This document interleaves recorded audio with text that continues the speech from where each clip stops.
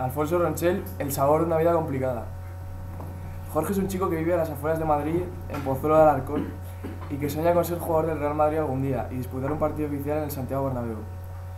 Jorge tiene dos hermanos mayores, Carlos y Mauricio, aunque solo conoce a Carlos ya que a Mauricio, su madre Gloria, lo dio en adopción a los pocos días de haber nacido. Gloria no pudo cuidar de su primer hijo y es una carga que siempre llevará encima. Pero lo cierto es que no lo tuvo nada fácil. Ella se quedó embarazada con 17 años mientras cursaba primero de bachillerato y su novio, Abel, nada más enterarse de lo sucedido, se fue sin decir nada y nunca lo volvió a ver. Además, ella no pudo abortar en primer lugar porque se le impedían sus valores éticos y en segundo lugar porque tampoco tenía los medios para hacerlo. Ella había vivido con su abuela Francisca desde que tenía 3 años, ya que era hija única y sus padres murieron en un accidente de coche cuando iban de camino a la boda de unos amigos en Segovia. Pues bien, su abuela al enterarse de que Gloria se había quedado embarazada, decidió apoyarla en todo momento y le prometió que si decidía tenerlo, ella iba a cuidar al bebé como un hijo más. Gloria, tras saber que recibiría el apoyo incondicional de su abuela, decidió tenerlo y dentro de lo malo, al final no todo estaba siendo tan malo para ella, hasta que el viernes 19 de diciembre, justo tres días después de haber nacido su hijo Mauricio, falleció su abuelita Francisca y debido a esto tuvo que dar adopción a su hijo, pensando en lo mejor para el pequeño Mauri. En ese momento, su vida dio un giro de 360 grados. De repente todo su mundo se vino abajo. Su vida, su hijo, sus planes de futuro, todo se fue al traste. Esto no le podía estar pasando a Gloria. Primero lo de sus padres, luego el embarazo no deseado y ahora esto.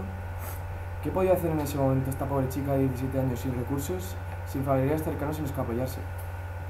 Seguro que muchos pensarían en suicidarse y dejarlo todo atrás, pero ella no. Ella decidió seguir adelante, sola y sin ayuda de nadie, excepto de su mejor amiga de siempre, Marta, que consiguió convencer a sus padres para que Gloria pudiera ir a vivir con ellos como una hija más. No fue, no fue fácil convencerles, pero al final, pensando en lo mal que lo había pasado y todos los problemas que había tenido, decidieron acogerla. En ese momento Gloria comenzó una nueva vida. Corría el mes de diciembre y dos semanas después eh, de dar a luz eh, tuvo que volver al colegio, pero las cosas no eran como antes. Todo el mundo la miraba por encima del hombro y no estaba a gusto. A esto hay que sumarle que por aquel entonces ella estaba cursando segundo bachillerato de ciencias, que no es un curso precisamente fácil, primero habiéndose perdido un mes de clase por el embarazo. No fue nada fácil, pero al final consiguió sacarse el bachillerato y además con una buena nota. En septiembre de ese mismo año entró en la carrera de Ingeniería Informática en la Universidad Politécnica de Madrid y fue ahí donde conoció a su futuro marido, Pedro, un chico de Pamplona que había decidido irse a estudiar a Madrid con un amigo. Pedro vivía en un pequeño piso junto a su amigo Jaime, en el que apenas cabían, pero en el que eran felices. A los pocos meses, Gloria y Pedro empezaron a salir y pasaron un primer año de carrera increíble. No le fue igual a Jaime, el amigo de Pedro, que en vez de estudiar prefirió salir de fiesta y que al final del curso decidió abandonar la carrera porque, como él decía, no era lo suyo. Jaime volvió a Pamplona y Gloria decidió abandonar la casa de su amiga Marta para irse a vivir con Pedro al piso que antes compartía con su amigo. Gloria y Pedro, que eran unos estudiantes excelentes, consiguieron el título universitario a los cuatro años de haber empezado y decidieron crear una empresa tecnológica.